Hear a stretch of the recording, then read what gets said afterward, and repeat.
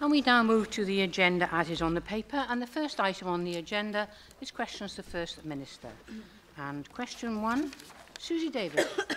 uh, Diolch Llywydd. Uh, First Minister, uh, will the Welsh Government's review of the individual patient funding review process extend to applications for all drugs which have not yet been approved by NICE or the All Wales Medical Strategy Group, Medicine Strategy Group? Well, preparatory work is currently, currently underway in terms of the review and detailed terms of reference will be agreed next month. Ah, thank you, First Minister. I look uh, forward to hearing uh, uh, more about that because uh, last week in challenging my assertion that Afinitor is more readily prescribed in England than in Wales, you referred to seven criteria which women in England must meet before they can receive Afinitor from the Cancer Drugs Fund. What you didn't say is that only women who don't meet all the criteria have to make their case through a process akin to the IPFR app style application. Women in Wales still have to go through that process whether they meet the criteria or not. Between April and September this year, 279 women in England met the criteria simply confirmed by their own consultant, and the cancer drugs went paid for that treatment. Proportionally, you would expect 16 women in Wales to have benefited automatically from a Welsh fund, Can you tell me, First Minister, how many women in Wales meeting those criteria have received Affinita as a result of the IPFR? And will you review con uh, uh, consider automatic entitlement to women whose consultants confirm they meet those seven criteria? Well, I will, of course, write to the member with the information she requested, but it is right to say uh, that it simply isn't the case that somehow there are drugs in England that are uh, easily available as compared to Wales. There are processes that have to be followed there through the Cancer Drugs Fund as well. Bethan Jenkins. Uh, First Minister, I've been told by the organisation ABPI um, that there's such a thing called the named patient um, basis, which is part of the Medicines and Healthcare Products Regulatory Agency, that in certain circumstances the doctor can prescribe the medicine because the patient has a special need for it. Um, I don't think that many people are aware of that particular process, and I was wondering whether you could work with the Health Minister to make people more aware of it, because if they do fall through the gaps in, in, in, in, uh, in circumstances circumstances that Susie Davis has outlined, perhaps this would be another way forward for people to seek the, the drugs that they need. Uh, I, I see no reason why that situation cannot be uh, publicised, and I'll discuss the issue with the Health Minister. Question two, Byron Davis. Thank you, uh, Presiding Officer. Uh, will the First Minister make a statement on the development of bus services in Wales, please? Well, we are committed to supporting bus services now and, of course, in the future. And we're actively looking at ways to maximise value for money and secure the best possible provision of services in Wales. Thank you, uh, First Minister. I asked uh, the Transport Minister last week about the concessionary fares scheme and assurances that it would not be cut. Um, there was expectation in the industry that an announcement would be made in the first week of December. Now the Minister tells me that uh, she hopes to make one in January. Can you assure this chamber that uh, the government will uh, ensure that people who hold concessionary bus passes, which we strongly support on, on this side of the chamber, will actually have a bus service to use on the new, in the new year and reassure the industry at the earliest opportunity that you will properly fund concessionary passes? Negotiations are ongoing. There was a meeting, I understand, last week. There is a meeting uh, due this week as well.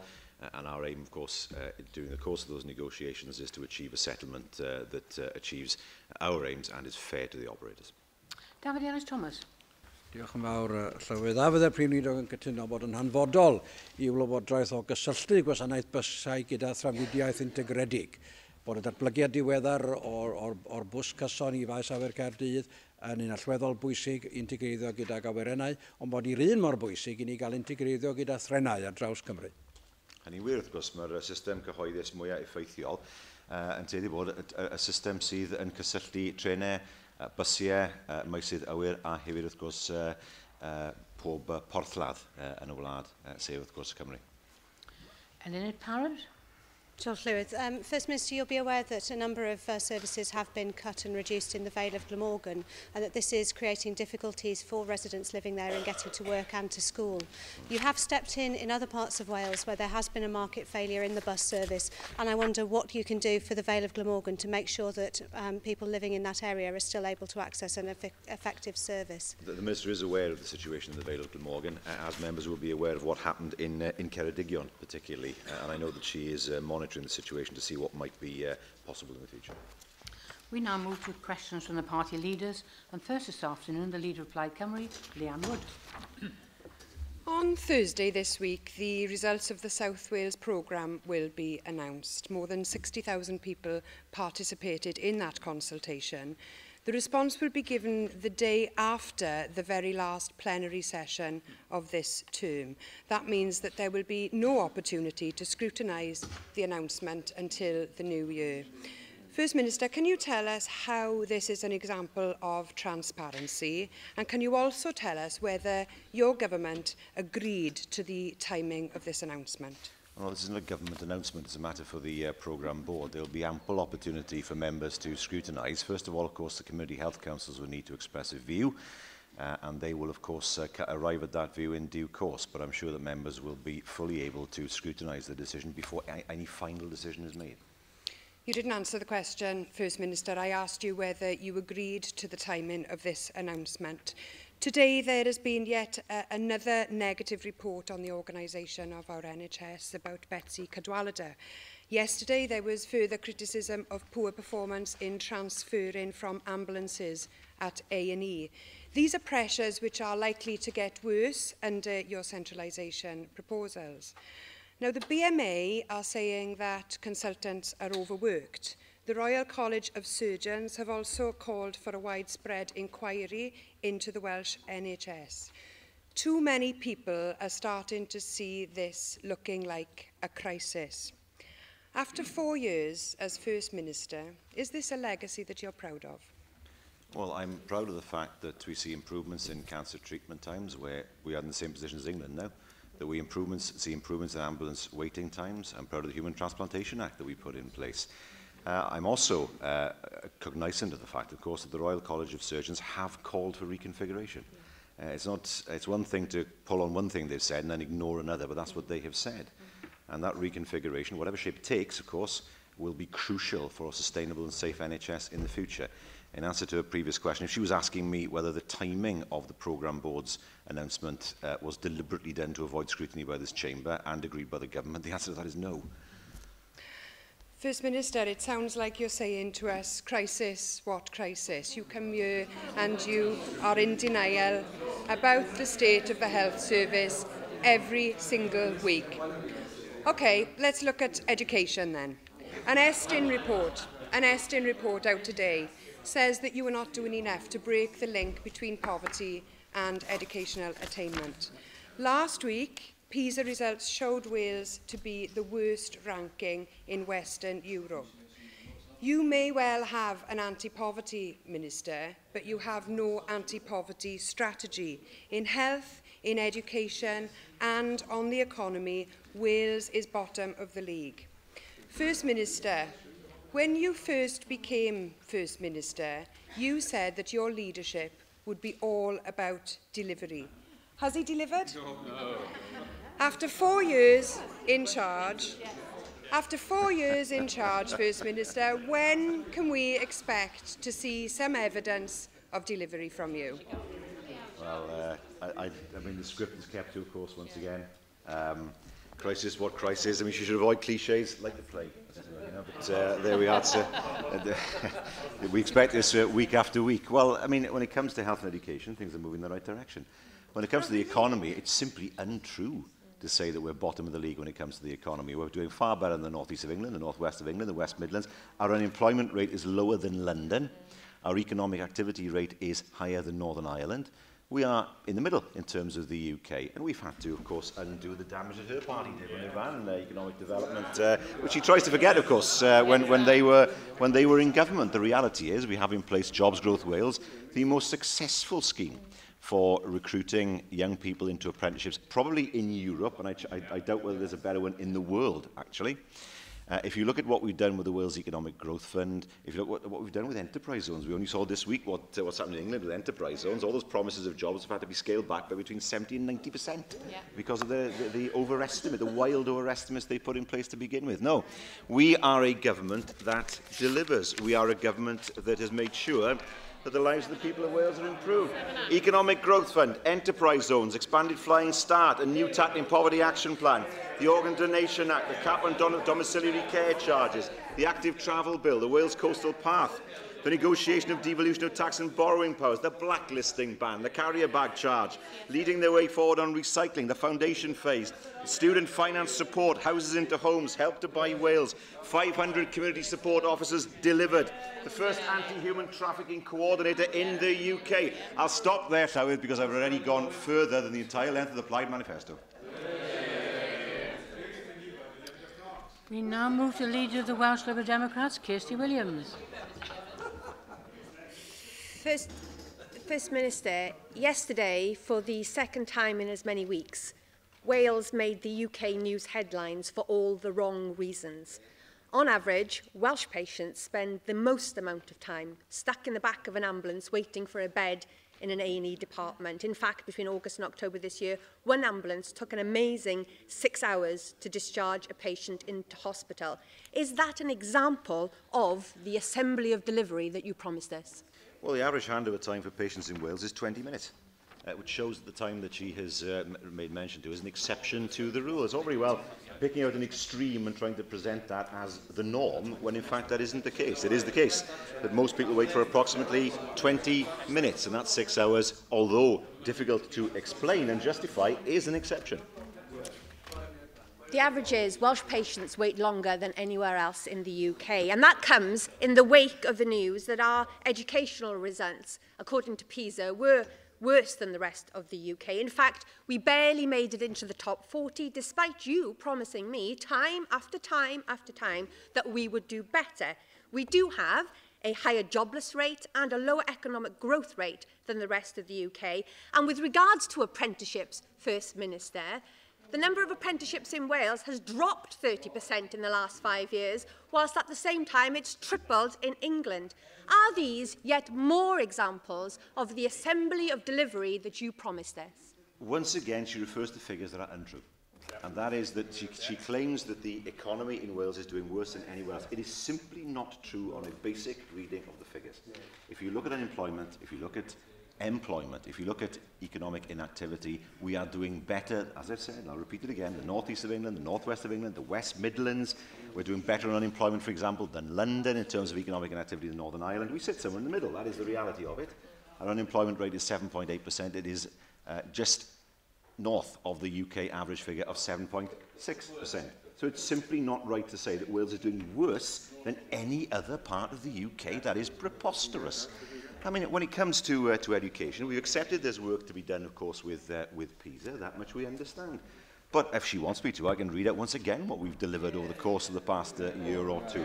Because unlike her party, we make promises that we keep rather than break them a month or two into government. Kirsty Williams. First Minister, back in May 2011, you promised us your government would act with humility in the face of the problems Wales faced. Uh, your answers today show nothing but contempt and complacency in a selective reading of the figures. First Minister, I've seen very little evidence of humility from you in the past few weeks, but isn't it the case with a record like your government on health, on education, on jobs, on economic growth, there is an awful lot for you and your government to be humble about.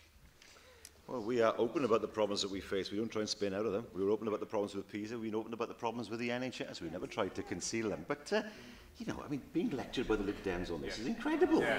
I mean, talk about humility. This is the party that stood, I mean, their leader stood with a placard saying there will be no student tuition fees.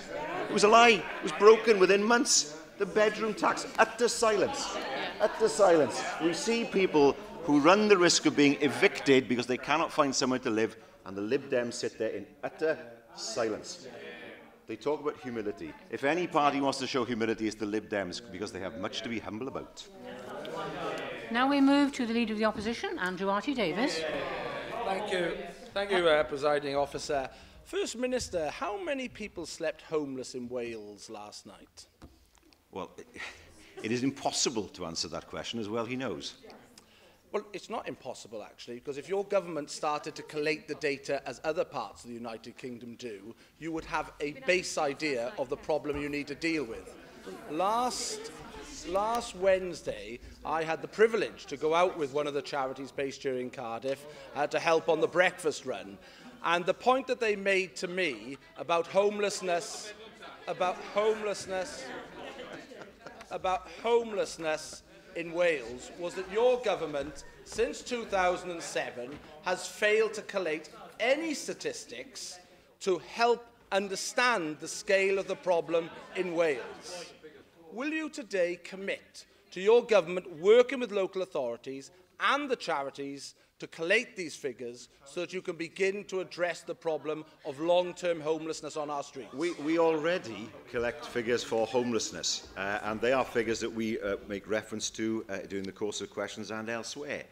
But the reality is this, I, can't, I just can't quite believe that the Leader of the Opposition is standing there and telling us that he has been on the streets talking about homelessness and he defends the bedroom tax. Defends the be there is no policy more calculated, no policy more calculated to put people on the streets to live than his own policy of the bedroom tax. I ask him now, I wonder if they mentioned this to him, or did they praise him and say, thanks for introducing the bedroom tax, it'll make homelessness better. I doubt it very much. The reality is, his party in government has introduced the most spiteful, the most ill-thought-out policy in terms of ensuring that more people become homeless, and he has sat there mute through it all. I have to say, when you hear the First Minister and his backbenchers and the parties of the left, they seem to think they've got the freehold on poverty. Well, they have got the monopoly on poverty. They help to create more poverty than any other party. When you look at the figures, when you look at the figures, more poverty was created after 14 years of Labour than any Conservative government. I asked you a very reasoned question. I asked you a very reasoned question, which the charities are putting forward, that sadly since 2007, the Welsh Government has failed to collect the statistics on long-term homelessness. The individuals that I spoke to last week on the streets of Cardiff were not on the streets because of the single occupancy tax. They were on the streets because many of the problems that they faced through mental health, for example, domestic dispute, and those were the issues that needed to be addressed. So why on earth is your government not working with the homeless charities yep. yeah, to address yeah. this by undertaking a simple measure of the problem so that your two poverty ministers, because you have two ministers to handle poverty after all the initiatives you've brought forward, can actually put something in place that will help those individuals who find themselves on the street night after night, year after year, First Minister?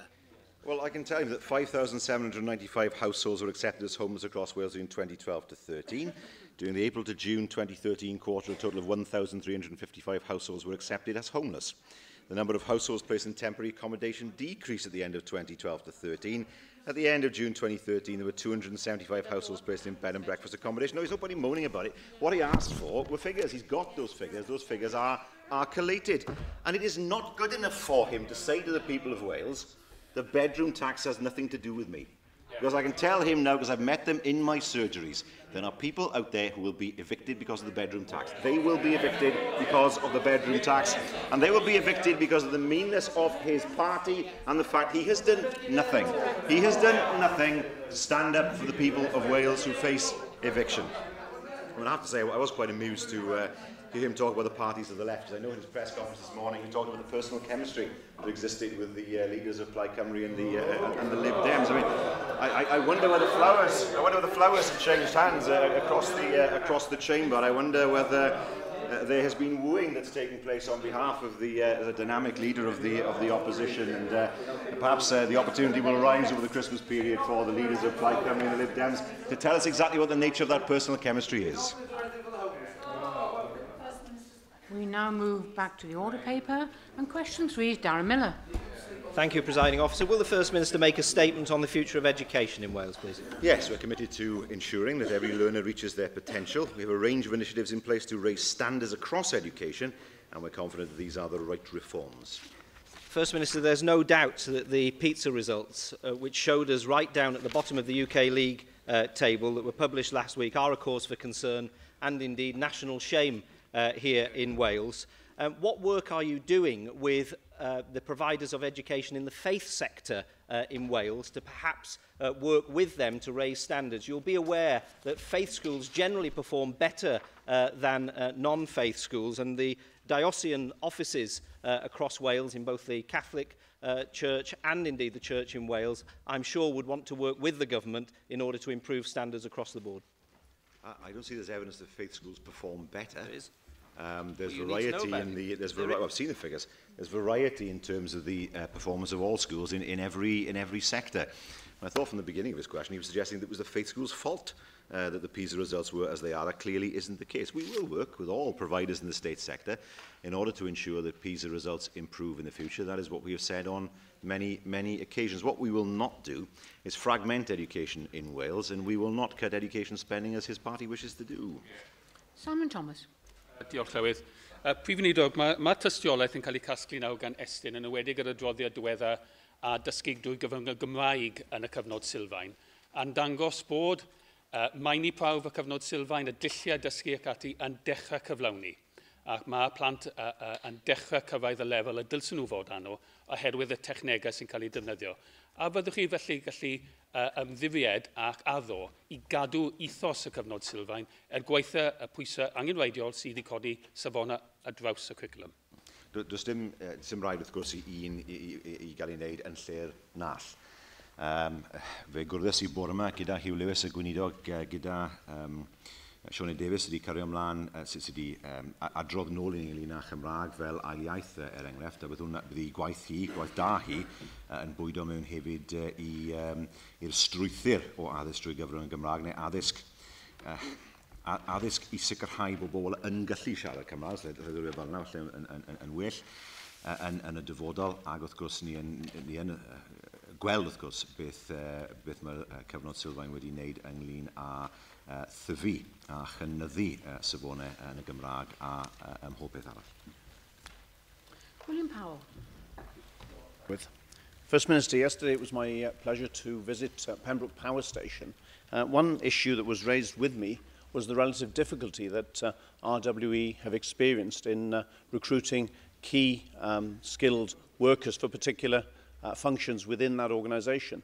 While uh, Pembrokeshire College had got strong links with RWE, uh, they had had consistently to go further afield than Swansea or Cardiff uh, in sourcing candidates for their year in industry internship. What steps can your government take to uh, working in partnership with uh, both uh, local authorities, universities and other partners? What steps can your government take to improve the situation so that RWE can deliver for the local communities in Pembrokeshire, particularly for the highly skilled end of the market? Well, we have, of course, schemes such as Jobs Growth Wales and Pathways to Apprenticeships, but, but uh, our FE colleges have a good record of supporting industry locally, wherever they are in Wales. Uh, and we would want to work with the college and indeed with uh, Pembroke Power Station to increase the number of potential candidates for, uh, for the urine industry in the future. Uh, if the member would write to me uh, ex expressing the, uh, the difficulties that uh, are felt to be there, then we will of course uh, look to see how those difficulties can be addressed. Question 4, Anne Jones. How is the Welsh Government ensuring that the heritage of the Welsh language is celebrated? Well, we support many projects in support of the heritage of the language. They include the National Eisteddfod, obviously, the Urdd Eisteddfod, the purchase of Caer Gors, the home of Kate Roberts. Uh, we will be celebrating 150 years of Oladva in Patagonia. And of course, we had the recent Womex uh, festival, uh, of which uh, Welsh music played a significant part. Well, thank you very much for that, First Minister. And can I say thank you for a meeting with the Town Clerk and, the, um, and also Gwyn Humphreys, who delivered a lecture on the 450th anniversary of the um, translation of the Book of Common Prayer into Welsh. Uh, that was an act steered through by the then uh, MP Humphrey Clywyd. And I think it's been uh, credited as being one of the things that's kept the Welsh language alive in all of those years. For me, that's an important example of how we can actually celebrate um, our rich culture and our heritage. And I wonder, would you provide um, an update on what you next what the next plans are your government are looking at to make, to make sure that people understand that those fights and those struggles to protect and keep the Welsh language are very much still in the hearts of everybody across Wales, even those of us who desperately struggle to continue to speak or learn, learn to speak the language.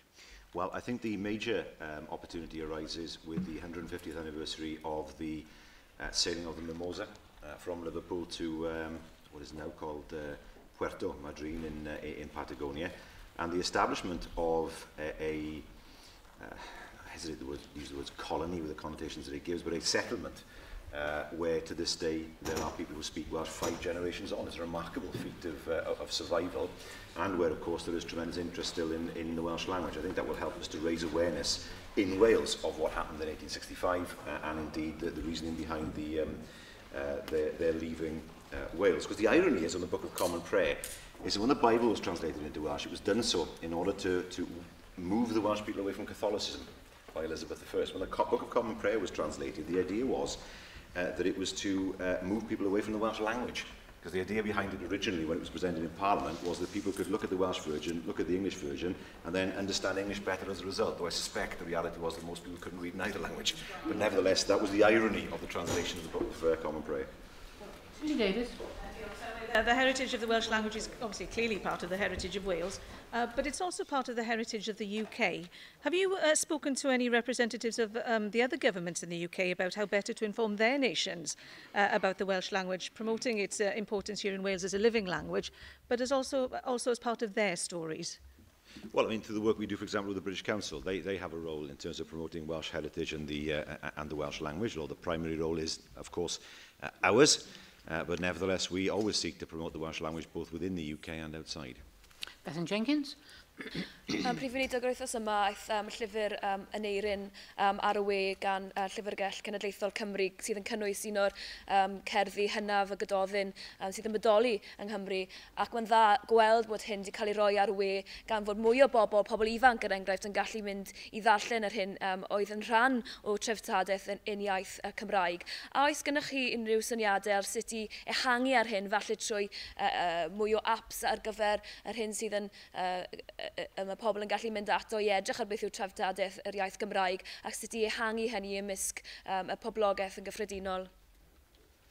Wel, fi'n gwybod bod uh, y cyngor llyfrau er enghraifft a'r, ar y llyfrgell genedlaethol er enghraifft wastad yn edrych am ffyrdd i uh, ehangu y gwybodaeth o etifeddiaeth yr iaith Gymraeg.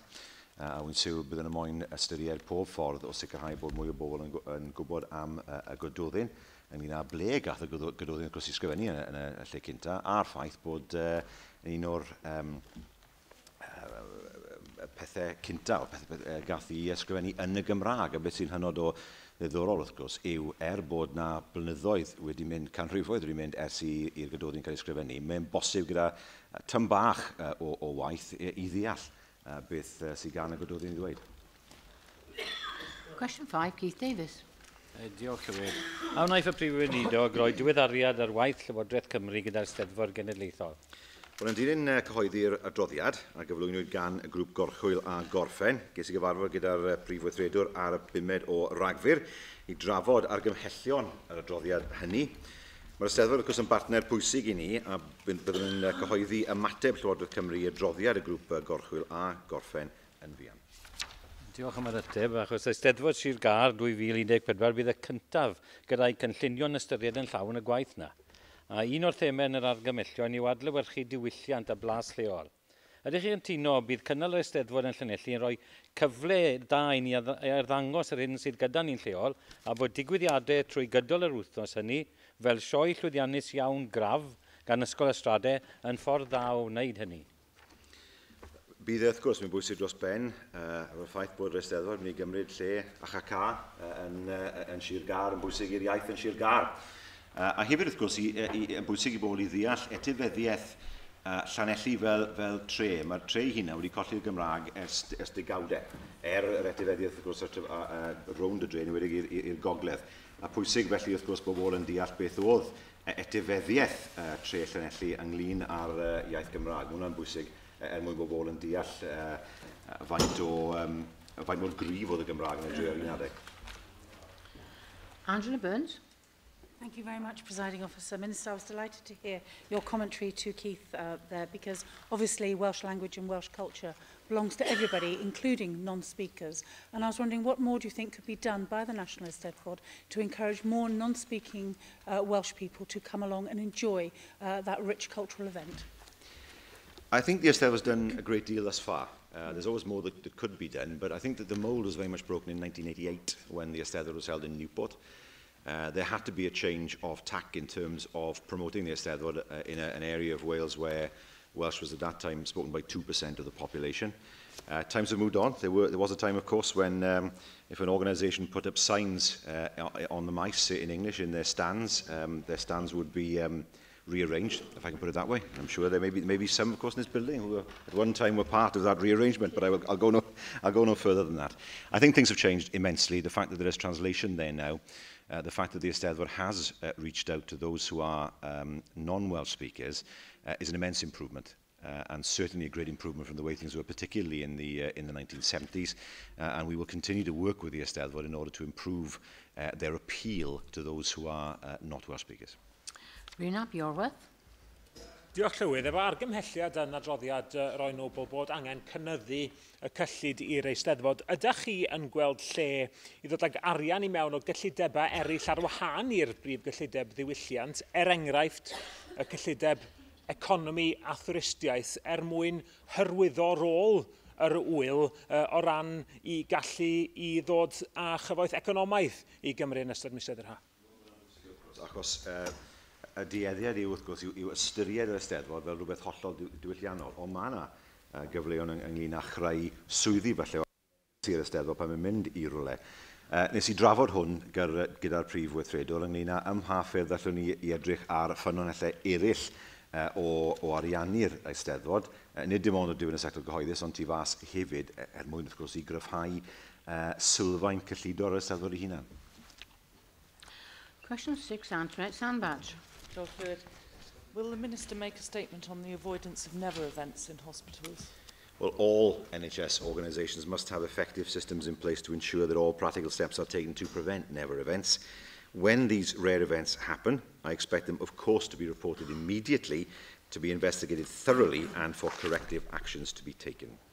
First Minister, as you've already identified, never events are unacceptable and avoidable events in healthcare and include, for example, wrongly prepared high-risk injections, wrong route administration of chemotherapy and 20 other, 23 other uh, specific events. 12 never events have occurred within the Betsy Cadwallader Health Board since March. Can you tell me how many never events have been reported to the Welsh Government in the last three years And given that they're not, shouldn't be occurring at all, uh, what action has been taken to improve the leadership and management of never events? Well, I, I, I don't know the figure of 12 comes from in terms of never events. I can say that nine never events were reported in 2012 to 13 and seven in the first six months of this current year. I suspect what is happening, however, is that some events that are not technically never events are treated as such because of their seriousness and where those events are identified, even though they are technically not never events, I would expect them as well to be investigated thoroughly and for steps to be taken to correct the situation. Lindsay Whittle. Uh, well, First Minister, uh, uh, you are quite right. These, these events are indeed devastating for the individuals. But I do believe we need to know the root causes of such serious events so that they never happen again. Is it uh, poor communication amongst staff, inadequate staffing levels, overworked surgeries. What do you think, uh, First Minister?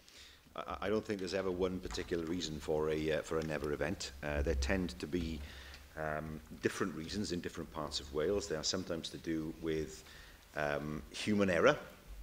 They are sometimes to do with organisation. Sometimes there will be other reasons as, as well.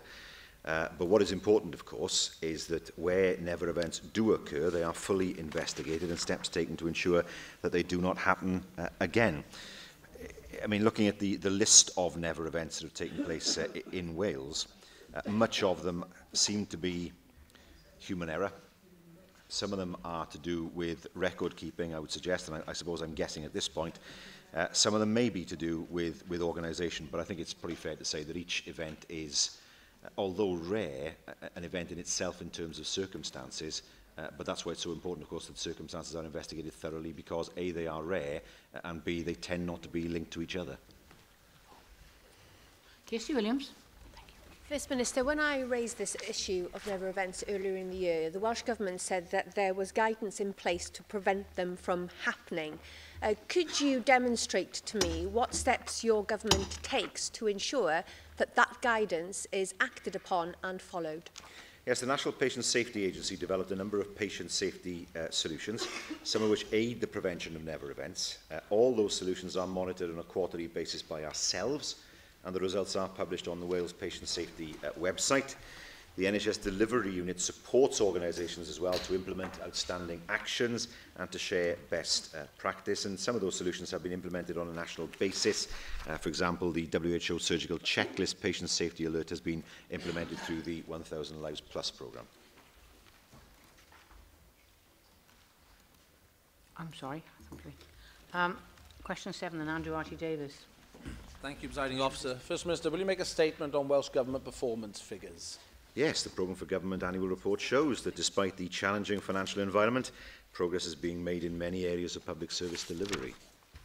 Thank you, First Minister, for that answer. Uh, we're in the last week of the autumn term. Um, the Business and Enterprise Minister confirmed that the key performance indicators would be made available for the enterprise zones uh, before the end of the year uh, in written questions that I've had.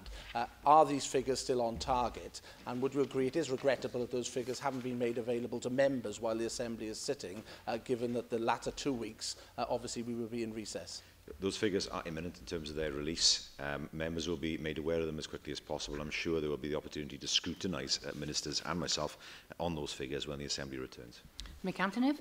Uh, will the First Minister outline any progress that's been made to improve Welsh ambulance uh, performance results in the RCT area and in Wales as a whole? Well, there has been an improvement in ambulance performance in RCT, although it's still uh, short of the target. That much has to be uh, accepted. Uh, I can say that 46 additional paramedics have been recruited and are now operational since September, with 22 more staff in post by the end of uh, January. Uh, those this is across Wales, I should add. These additional staff will improve service delivery and support the hard work of existing staff. Uh, First Minister, of course, you have a number of targets around economic development. Uh, when do you predict Wales will have a buoyant economy? A vibrant economy. A buoyant economy. A buoyant, uh, defi define buoyant. I think it will be some time before we are in a position where we were pre-2008. I think that's inevitable. I think the UK will be a long time before it's in that position. There are so many factors that are difficult to predict. Uh, the Welsh economy is moving in the right direction, but it's moving very slowly in the right direction. What troubles me is what will fuel recovery in the future. What is needed is for people to see a real increase in their wage packets. Unless they see that, they will not be able to spend, and therefore demand will be depressed and the economy won't be sustained. Uh, so we can do what we can uh, as, as a government from our point of view. But secondly, of course, it is important that the UK government sends out the message that people do need to see real increases in their salaries and wages in order to get the economy going. In terms of when that might happen, I know that the, some of the world's economists are saying the end of this decade. Uh, Wales can't be divorced from the uh, economy of the UK or Europe in general. Uh, but of course, uh, we do need to see all levels of government working together to, in order to deliver a, a faster recovery uh, than has been seen in the UK thus far. Question 8, David Rees.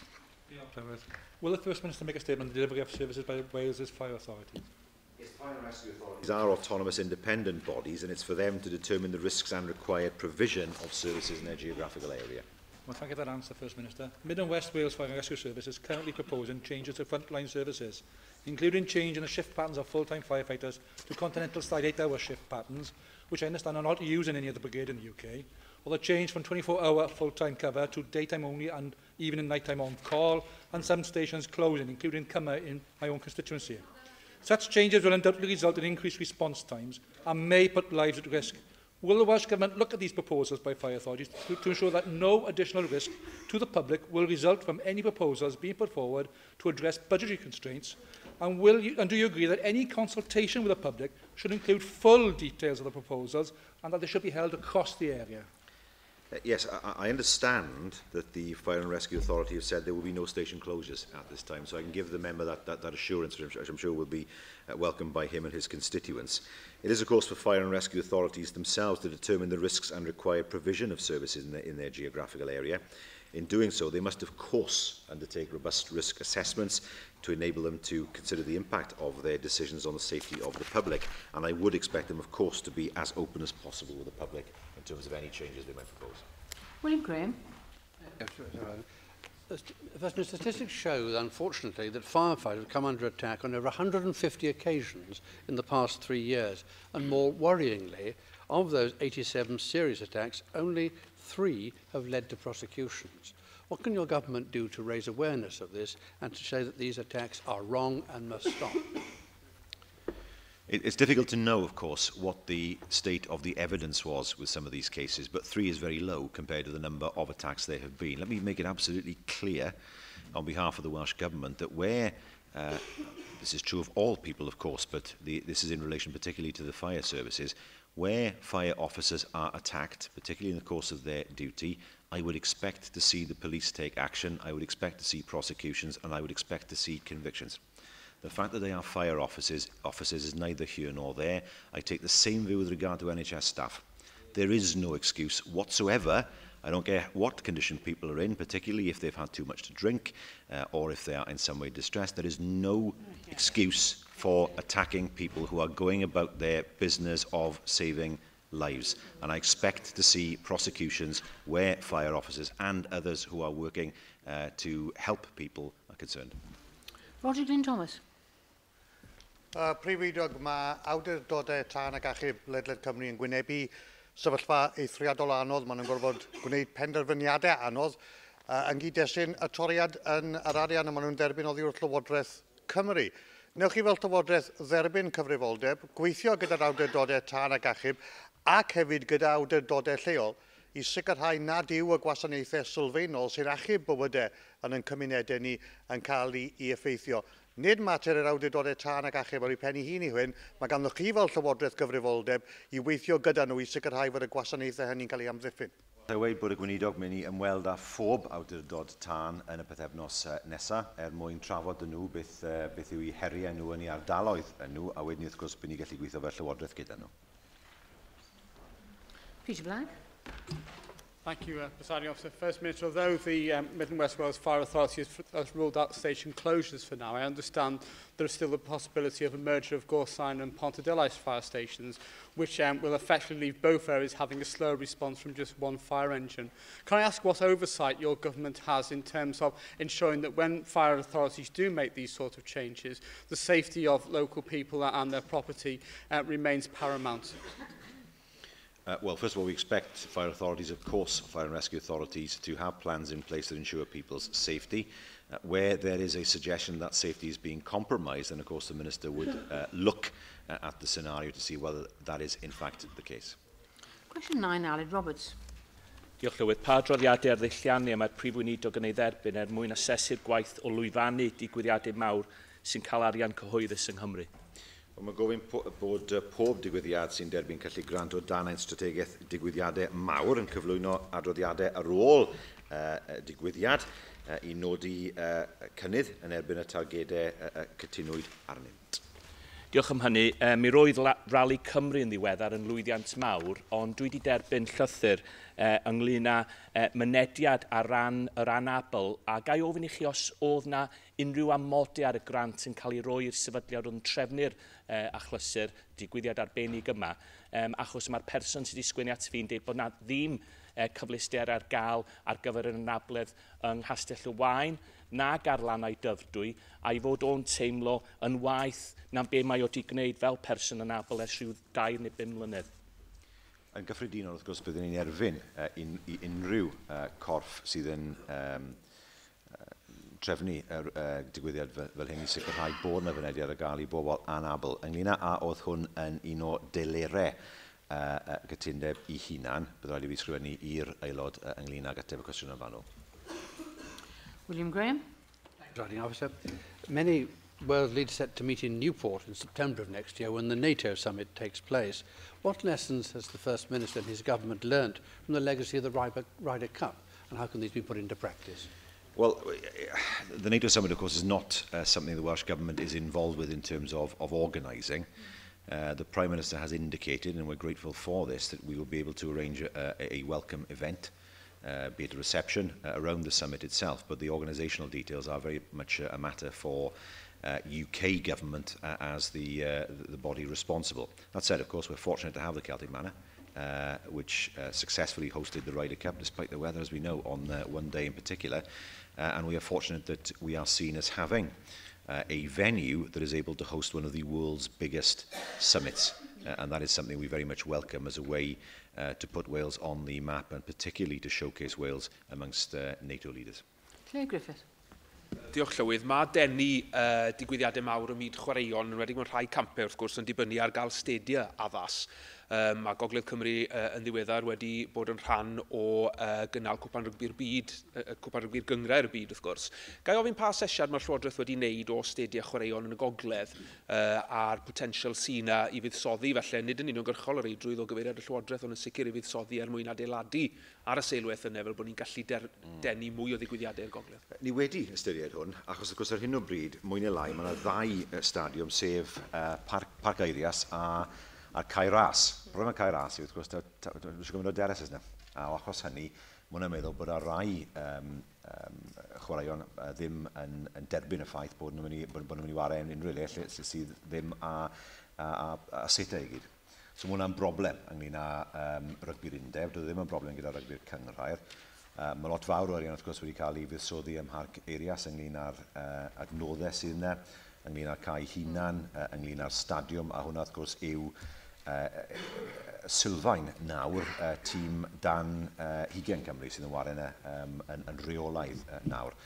Mae hwn yn un o'r pethau ni wedi bod yn ystyried. Um, ym mha ffordd allwn, allwn ni i godi safon ynglyn â sete er enghraifft um, rai o'r, uh, rai o'r uh, stadia, y uh, uh, gogledd, a bydd hwnna'n rhywbeth byddwn ni'n ystyried yn y dyfodol hefyd.